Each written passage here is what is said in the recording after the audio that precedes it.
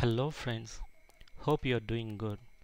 Today we're gonna see a very interesting video on converting your Google Sheet data into a fully functional API.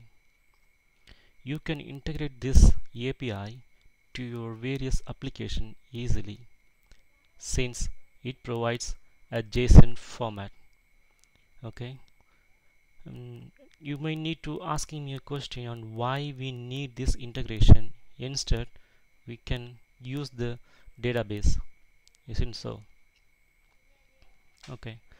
The advantage of using this tool is you don't need a DB server at all and you don't need to invoke a API call and you don't need even to write a single line of code. Moreover no deployment required. That means if you're going to edit if you wanted to edit the uh, data you can edit the data on live and that will automatically synchronize to the API without a deployments so let's get into the video on how to create this API if you still not subscribed my channel please subscribe and click the bell icon. This is the sample data which I'm going to use for creating an API so this is column serial number name state code zip and YTD sales. Okay? So we're gonna convert this data into your API so what we're gonna do is go to this sheetdb.io okay this is the website which provides a functionality to convert Google Sheet data to a fully functional API click this button to sign up using your Google account.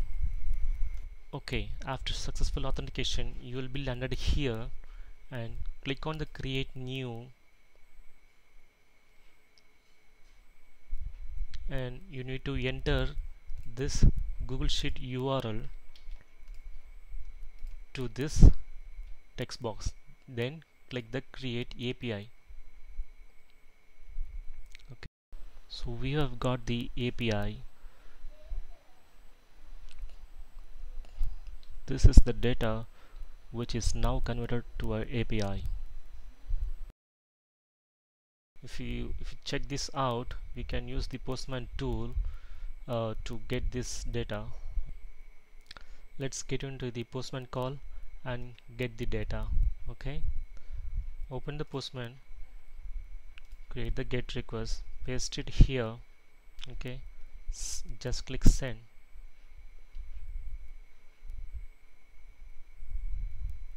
That's it. See we are getting a JSON formatted data of the of the sheet here so you can use this API to your applications.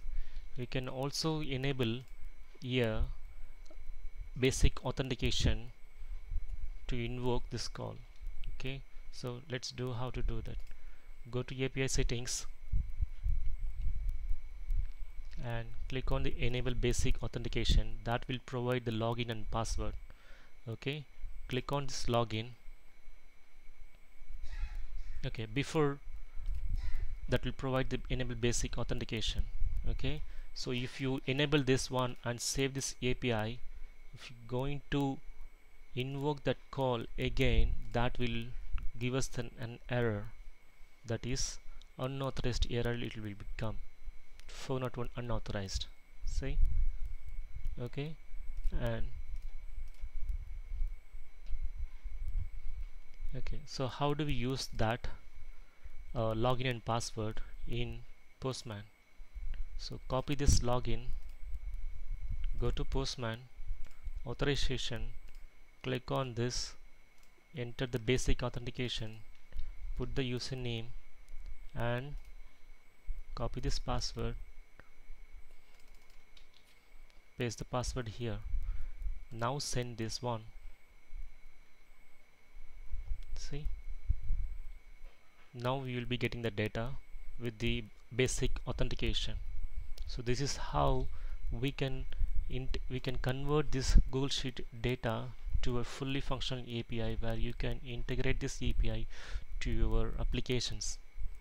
You can also have a lot of functionalities with this API by filtering the data and uh, you know searching.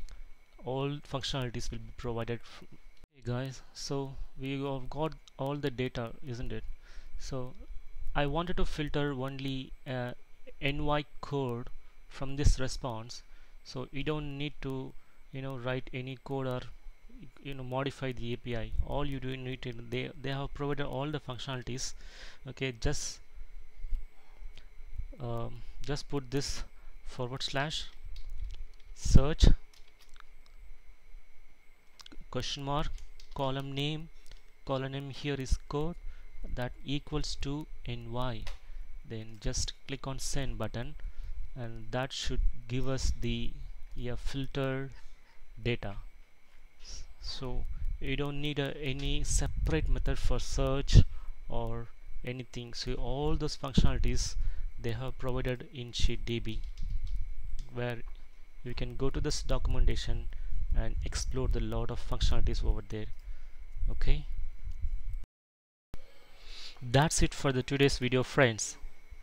Please support me by clicking the like button and subscribe. Thank you